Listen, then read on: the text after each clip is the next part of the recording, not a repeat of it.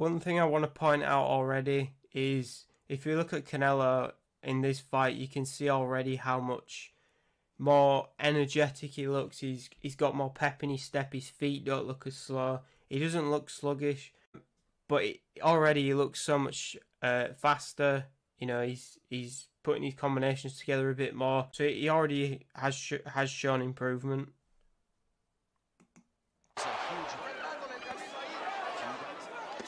Now another body shot. Now uh, present different angles, and there's a right hand, a straight right. More active with it.